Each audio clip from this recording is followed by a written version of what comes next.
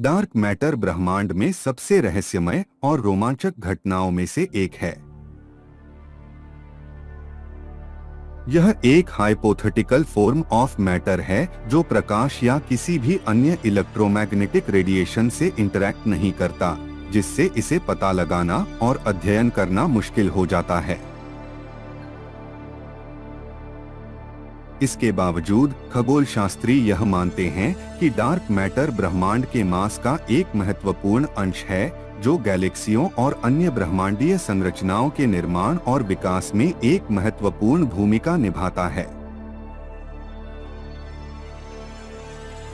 माना जाता है कि डार्क मैटर ब्रह्मांड में लगभग 85 परसेंट मात्रा में मौजूद है।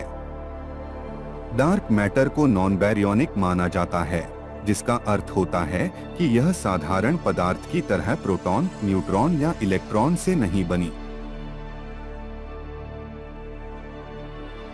डार्क मैटर की सटीक प्रकृति अभी भी अज्ञात है, लेकिन समझाया जाता है कि यह गैलेक्सियों और अन्य ब्रह्मांडीय संरचनाओं के गठन और विकास में एक महत्वपूर्ण भूमिका निभाता है।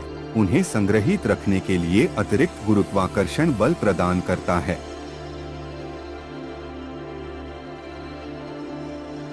इसी तरह एंटी मैटर भी एक चीज़ है जो डार्क मैटर से अलग होती है। एंटी मैटर खासतौर पर विजिबल मैटर की तरह ही होती हैं, लेकिन उनमें अपोजिट इलेक्ट्रिकल चार्जेस होते हैं। ये कण एंटी प्रोटॉन और पॉजिट्रॉन या एंटी इलेक्ट्रॉन कहलाते हैं। जब पार्टिकल्स एंटी पार्टिकल्स से मिलते हैं तो एक विस्फोट होता है, जो दो तरह की वस्तुओं को रद्द कर देता है। क्योंकि हम ऐसी दुनिया में रहते हैं, जो मैटर से बनी है। और इस दुनिया में एंटी मैटर बहुत कम है, वरना कुछ नहीं बचा होता। भौतिक विद्याविदों के पास वास्तव में एंटी मैटर बनाने की क्षमता होती है।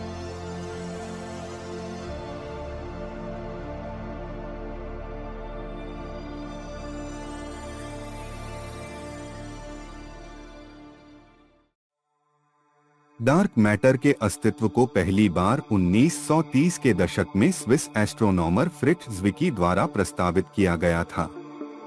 उन्होंने अंदाज लगाया था कि गैलेक्सी के कोमा क्लस्टर में विजिबल मैटर उस गुरुत्वाकर्षण बल की ज़िम्मेदारी को संतुलित करने के लिए पर्याप्त नहीं थे।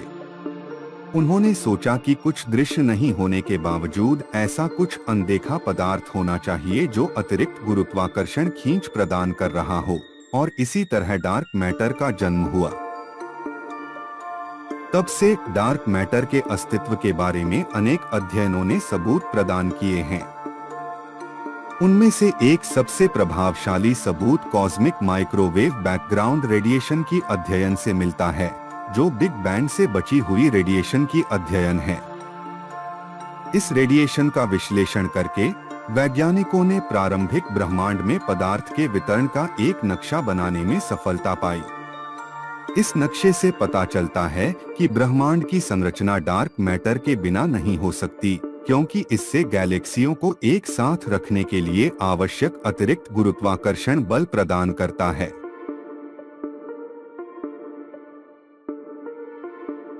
Study of the rotation curves of galaxies के अध्ययन से डार्क मैटर के होने का एक और सबूत मिलता है।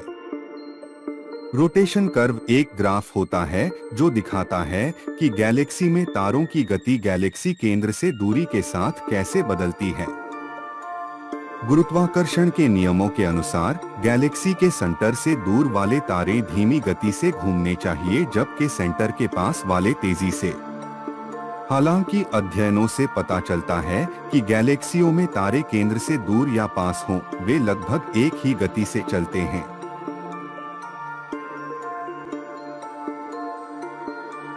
इसे केवल डार्क मैटर के अस्तित्व से समझाया जा सकता है जो तारों को एक स्थिर गति में रखने के लिए अतिरिक्त गुरुत्वाकर्षण बल प्रदान करता है।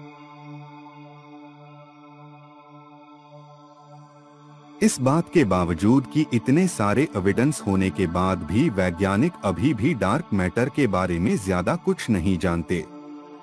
एक पॉसिबिलिटी यह भी हो सकती है कि dark matter weakly interacting massive particles WIMPs से बनी हो, जो कमज़ोर परमाणु बल और गुरुत्वाकर्षण के साथ काम करते हैं, लेकिन इलेक्ट्रोमैग्नेटिक बल के साथ नहीं।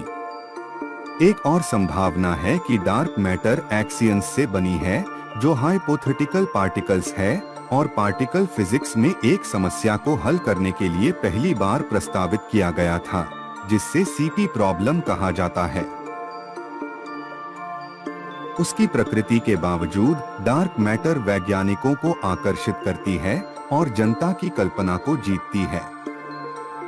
यह एस्ट्रोफिजिक्स और कॉस्मोलॉजी में सबसे बड़े अनसुलझे रहस्यों में से एक को रिप्रेजेंट करती है। और जवाबों की खोज इन क्षेत्रों में अनुसंधान को चलाती रहती है डार्क मैटर को डिटेक्ट करने के लिए कई सारे एक्सपेरिमेंट्स और ऑब्जर्वेशंस चल रहे हैं, और जैसे जैसे टेक्नोलॉजी आगे बढ़ती है, हम शायद इस प्रतिष्ठित पदार्थ के बारे में कुछ प्रकाश डाल पाएँ।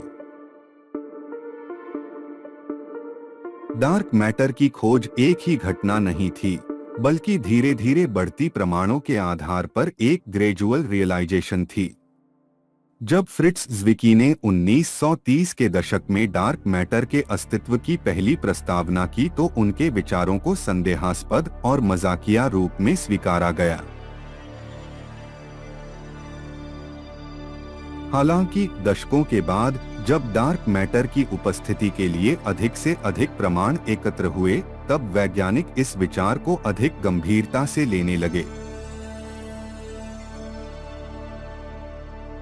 आज एस्ट्रोफिजिसिस्ट्स और कॉस्मोलॉजिस्ट्स डार्क मैटर के अस्तित्व को स्वीकार करते हैं, और इसकी प्रकृति और गुणों की खोज इन क्षेत्रों में सबसे सक्रिय शोध क्षेत्रों में से एक है।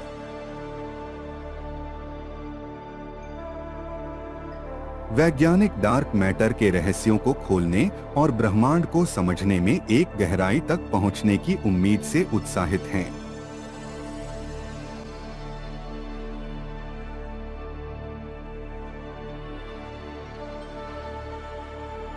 डार्क मैटर एक ऐसा विषय है जो हमारी जानकारी एवं समझ के बावजूद एक रहस्य ही बना हुआ है अगले किसी वीडियो में हम इस विषय पर और गहराई से चर्चा करेंगे ताकि हम इस रहस्यमय वस्तु को और बेहतर समझ सकें और इसके बारे में आपको अधिक जानकारी दे सकें।